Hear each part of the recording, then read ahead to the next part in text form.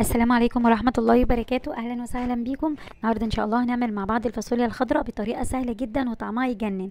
نسمي الله كده ونصلي على رسول الله ونشوف الفاصوليا هنعملها إزاي. جبت كيلو من الفاصوليا هبدأ اللي أنا أنضفها بشيل الزر الأخضر وبعد كده بقطعها قطع متوسطة زي ما أنت شايفة كده. ممكن كمان تقطعيها بالمقص بتبقى سهلة. خدت الفاصوليا تحت الحنفية كده وهغسلها بقى غسلة كويسة. أنا بنقعها لمده خمس دقايق وبعد كده آه بشطفها بالمية علشان لو فيها رملة أو أي حاجة تنزل في المية. كده الفاصوليا بقت زي الفل وبقت جاهزة معايا. حله على النار وحطيت معلقة كبيرة من السمنة. قطعه ليا قطعتها قطع صغيرة. وأول كده ما السمنة بدأت تسخن معايا نزلت باللحمة. شوحت اللحمة مع اللية والسمنة. طبعا اللية بتخلي اللحمة طعمها حلو جدا وهشوحهم مع بعض لحد ما اللحمة آه تتحمر معايا. وهجيب بصلاية كده متوسطة أضربها في الكبة وهنزل بيها على اللحمة. شوح البصل مع اللحمة على نار هادية علشان تاخدي طعم حلو من الخضار. خلي الخضار بتاعك يستوي على نار هادية تاخدي أحلى طعم خضار.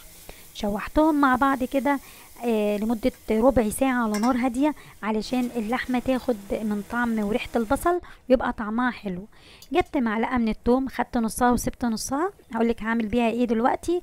وجبت نص معلقة من الفلفل الأسمر وهشوحهم كده مع بعض آه لحد ما التومة آه تطلع ريحتها كده وتبقى لونها أصفر معايا. كوبايتين كبار كده من المية وهسيب بقى اللحمة تستوي براحتها خالص على نار هادية نص سوا. عبال بقى ما اللحمة تبدأ كده تستوي معايا جبت كيلو من الطماطم آه غسلتها كويس ونضفتها وضربتها في الخلاط وبعد كده أصفيها من التفل كده الطماطم بقت جاهزة معايا. الفاصوليا كده هجيبها بقى كده اللحمة بدأت تستوي معايا نص سوا نزلت بالفاصوليا وهسيبها تغلي غلوتين ثلاثة قبل ما أحط الطماطم. وبعد كده نزلت بالطماطم وهسيبها أقلبهم مع بعض كده وهسيبها تستوي آه على نار هادية كده وكده بدأت تخش في السوا معايا. هحط معلقة من السكر علشان الحموضة وأظبط الملح بتاعي على نار هادية خالص.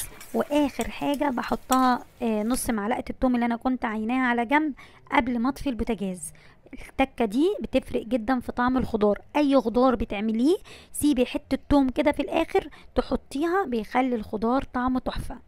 كده الفاصوليا استوت معايا واللحمة استوت معايا. خطيرة خطيرة خطيرة. جربيها إن شاء الله هتعجبك.